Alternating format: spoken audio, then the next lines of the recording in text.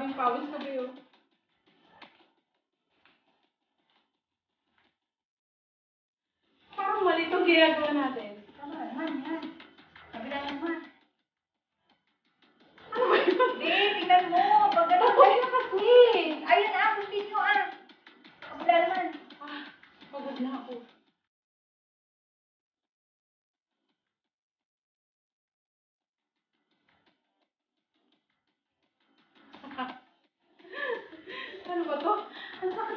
Mauern?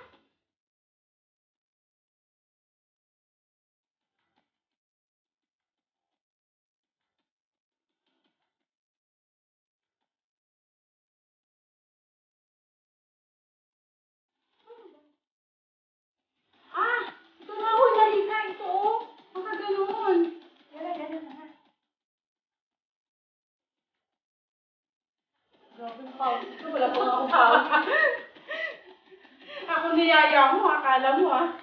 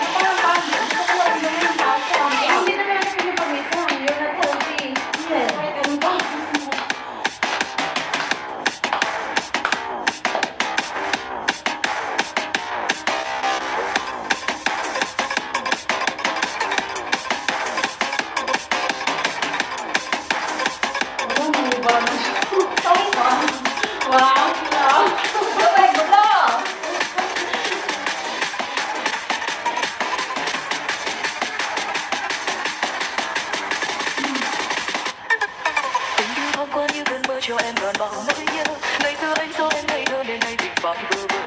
Rồi cho đến khi đôi